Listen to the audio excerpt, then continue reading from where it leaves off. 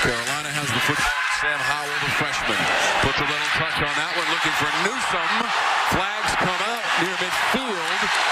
The struggle continues for the football. It's a completed catch. First down. More importantly, what a catch.